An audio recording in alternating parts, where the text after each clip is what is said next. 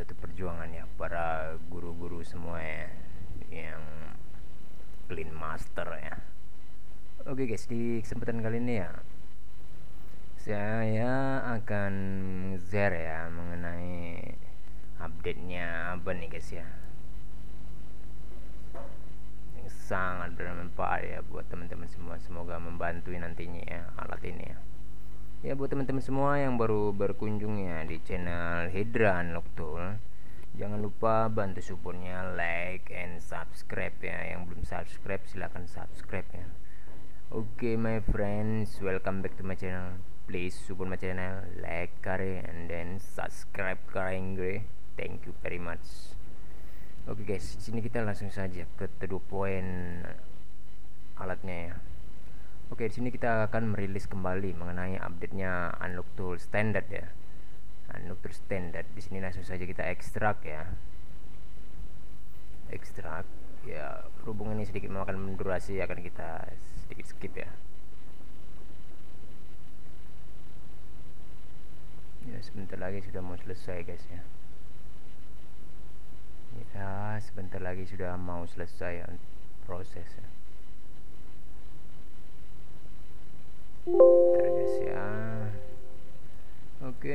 Oke pengekstrakan sudah selesai sini kita langsung kita buka ya untuk filenya. Ya ini deh guys ya. Oke di sini ada tiga excel guys ya. Ini satu di, sedang di dalam RAR ya. Ya di sini teman-teman jalan apa ya? Di sini pertama-tama teman-teman ekstrak dulu yang apanya rar loader ya. Winrar loadernya teman-teman ekstrak.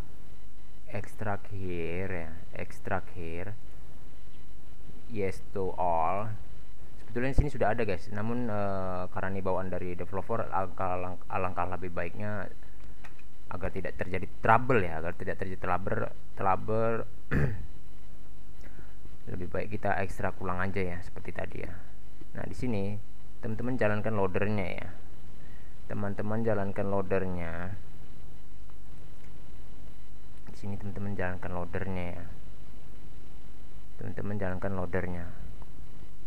Oke jangan jalankan jangan menjalankan mat exe ya. Teman-teman sini jalankan mat loader ya oke? Ya untuk apanya guys ya? Untuk koneksinya koneksi internetnya tidak perlu menggunakan koneksi internet. Offline pun bisa ya tanpa internet pun bisa. Oke di sini langsung saja kita run administrator langsung jalankan ya ya untuk ininya guys ya uh, untuk ininya ya uh, untuk username username dan passwordnya. Untuk username kita inputkan saja ini ya. Guru untuk username dan password nanti teman-teman cek saja ya di di dalam hasil ekstrakannya. Setelah teman-teman nanti mengekstrak WinRAR alat ini teman-teman akan mendapatkannya untuk teman-teman akan mendapatkan username-nya di dalam ya. Nanti saya akan sertakannya ya buat teman-teman semua mohon disimak video ini dari awal sampai selesai. Jika ada yang teman-teman cari tidak anda temukan risiko anda tanggung sendiri ya oke? Setelah kita isi username dan passwordnya sekarang langsung kita klik login ya. Sebentar guys. Oke dia sudah tampil ya. Oke di sini dia ini ada update pembaruan di versi 35 sebetulnya. Namun ini di all version kan di all version kan ya. Untuk all di versi 35 nya ini diinputkan filenya saja secara manual ya oke. Di sini kita cek langsung ya kita jelajahi untuk fitur dan fungsionalnya. Oke untuk kita tap brand Xiaomi ya. Brand Xiaomi. Brand Xiaomi ini untuk di menu Brom atau EDL ini ya. Berarti maksud dan tujuan fungsionalnya itu berlaku untuk chipset MediaTek dan Qualcomm ya. Bisa teman-teman lihat ini ya. Sebentar ya. Ini guys ya. Bisa teman-teman lihat ini ya. Brom atau EDL mode itu berlaku berarti untuk menu area ini ya menu area menu area yang tertera di sini ini berarti berlaku untuk yang chipset MediaTek dan Qualcomm ya. Mau itu unlock bootloader RSVRV itu berlaku untuk di brand Xiaomi oke? Okay? dan untuk tipenya ya tipenya bisa teman-teman lihat sendiri ya di sini tipenya guys banyak ya. Redmi Note 10 5G ya, Camellia sudah ada sini ya guys. Itu dia mau apa? Faktor reset PRP out bypass user lock clean remove demo ya. Remove demo. Waiting for the device katanya. Ya CPU MTMT nanti dia sih keterangannya ada sih guys. Namun sebelum teman-teman mengeksekusi itu harus cek dulu di Google ya untuk memastikan Redmi Note 10 5G ini dia berchipset apa. Namun jika di sini kita klik dia keterangan CPU MT sekian ya MT 6833 itu berarti dia berchipset MediaTek ya. Oke kita stop saja di sini ya. Untuk di Xiaomi ini lumayan guys ya Redmi 9 ya Redmi 9 Redmi 9A Redmi 9T yang kemarin-kemarin banyak mengeluh di perangkat-perangkat tipe Xiaomi Redmi 9 ya. Ini banyak guys ini ya. Bisa teman-teman apa? Dia support di sini Redmi 9A Redmi 9T dan Redmi 9i ya. Lion ya. Lion kodin apanya? Koordinatnya sini dia support untuk ini ya. Unlock bootloader SPRV factory reset reset micload ya. Ada dua test poinnya. Kita ke tab ADB ADB masih dalam tahap apa ya pembelajar apa ya pemeliharaan. Itu fastboot tab fastboot sini teman-teman bisa lihat ya untuk fungsional dan fiturnya. Mohon diperbesar ya layar monitornya agar lebih, terlihat lebih jelas. Kita kita geser lagi menunya oke kemungkinan untuk yang Xiaomi sampai di sini kita langsung lompat saja ke brand Oppo ya Oppo. Bisa teman-teman lihat ya untuk di brand Oppo ini tertera juga tab Brom atau EDL ya. Ini berarti berlaku untuk Oppo yang berchipset MediaTek dan Qualcomm ya. Untuk fungsionalnya seperti ini ya guys ya. RSVRV, factory reset, PRV, out bypass, save format ya. Save format ini uh, untuk fungsionalnya uh, untuk memfaktor reset namun tanpa hilang data ya. Untuk data media itu pasti loss ya, tidak akan terhapus ya. User lock clean ya, ini berarti artinya itu uh, membuka kunci layar namun akan bersih secara da, apa secara total dengan beserta data medianya. That's point ya. Untuk, untuk tipe yang tertera bisa teman-teman lihat ya. untuk Oppo ini luar biasa guys banyak sekali Reno mulai dari Reno ya Reno 3 5G ya. Banyak guys apanya ya. Mulai dari A53s 5G ya A53s 5G ini support ya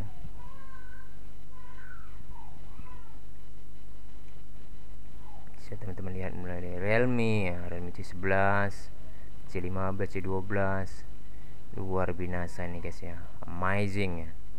Fungsionalnya. Kita ke langsung lagi kita ke tab Vivo ya. Tab Vivo sama juga ya di tab di Vivo pun di sini berlaku juga untuk yang Vivo chipset MediaTek dan Qualcomm ya. Bisa teman-teman lihat tipenya ya. Ya tipe-tipe menengah ke at menengah ke atas guys ya untuk tipe Vivo nya yang support di sini ya. Oke. Sangat luar biasa guys.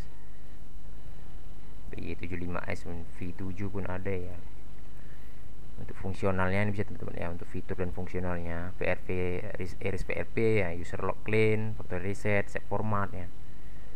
ADB demo ya. Kita ke tab Samsung ya ke tab brand Samsung bisa teman-teman lihat. Sini ya. Oke. Iris VRV ya biasanya Samsung ini paling nggak banyak ya guys untuk VRV nya aja sering masalah dan user locknya ini iris ID ya. Ini iris ID ini yang dimaksud dengan Samsung ID ya. Jika teman-teman dia terkunci Samsung ID teman-teman bisa ini ya uh, buka menggunakan fitur ini ya. Jika lupa email atau sandinya. Oke untuk kita langsung ke lompat saja. Ke kita ke tab apa ya? Ke tab brand Infinix ya. Kita ke Infinix. Kita lihat di sini Infinix pun uh, disupport juga untuk di chipset MediaTek dan Qualcomm ya. Ini Brom atau EDL ya. Infinix di sini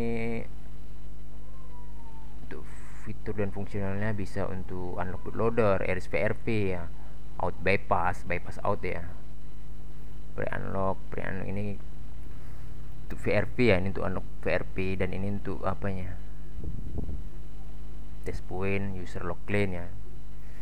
Dan di sini untuk ini MediaTek dan ini ada tab MediaTek ya guys kita ke tab MediaTek ini. Tab MediaTek ini untuk yang chipset MediaTek yang universal guys ya e, brand apa pun tidak masalah di sini ya. Namun untuk fungsionalnya ini manual guys ya manual ataupun advance ya. Untuk fungsional dan kegunaannya di sini manual guys ya. Fungsional dan kegunaannya manual ya bisa teman-teman lihat ya. Ini untuk fungsionalnya semua ini secara manual ya. Walaupun dia ini tab media tersendiri ya. Di sini bisa beli brandnya model port ya. Di sini teman-teman tinggal klik do job ya jika ingin meng mengeksekusi ya. Oke kita ke tab Qualcomm. Di tab Qualcomm ini di sini teman-teman tinggal pilih ya untuk fitur dan fungsionalnya. Tinggal pilih di sini ya banyak untuk ini Qualcomm kemungkinan banyak berlaku untuk Xiaomi ya di sini ya fungsional dan fiturnya nanti teman-teman jelajahi saja ya. Dan di sini juga untuk kelebihan alat ini support sudah support untuk ISP ya untuk mendirect ya mendirect. Mendirect. Nanti teman-teman uh, cukup membeli ISP apa saja ya ETHR ya di Shopee ataupun di jual beli online ya. Teman-teman beli apa ya ISP ETHR ya yang berwarna merah tua ataupun merah muda itu ya. Di Shopee itu berserak guys yang menjualnya ataupun uh, ISP bawaan Hydra kemungkinan bisa ya asal dia terbaca EDL 908 di device manager saat di jumper melalui ISP ya. Nah di sini untuk fitur dan fungsionalnya, fitur dan fungsional ISP Direct ini bisa teman-teman lihat di sini ya. Untuk memflash, flash area, user area ya. Ini untuk flash user area. Di sini teman-teman tinggal write kan melalui teman-teman browse lalu teman-teman isi ya untuk fill dump ataupun full firmware-nya ya sini presentnya apa nih guys ya? Oh di sini untuk apanya guys? Untuk di teman-teman di sini bisa untuk mewritekan juga file dump ya file dump ya. Seperti user area room 1 room 2 ini bisa ada di sini ya. Teman-teman bisa lihat. Room 1 room 2 mantap betul ini guys. Kurang lebih seperti apa juga nih. Bisa sepertinya kurang lebih ini bisa untuk penginputan ya untuk penginputan atau merepartisi MMC bisa. Namun untuk dia sistem repair ya repair untuk menyehatkan MMC itu dia sepertinya kurang bagus ya. Namun sini fungsionalnya dia tidak bisa auto ya untuk merepair MMC ya. Harus secara manual harus menggunakan file yang manual file-file dump yang betul-betul sehat gitu ya. Diinputkan kembali. GPT area partition MMC full image ya di sini mantap guys. Bisa untuk backup apa ya? Present di sini. Oke. Dan ternyata tool ini memang betul-betul support di ESP ya. Oke kemungkinan itu saja yang bisa saya sampaikan guys ya. Kemungkinan durasi kita sudah terlalu lama. Dan semoga bermanfaat buat teman-teman semua teknisi semua. Semoga membantu. Dan di sini saya Ari kata. Wassalamualaikum warahmatullahi wabarakatuh. See you next time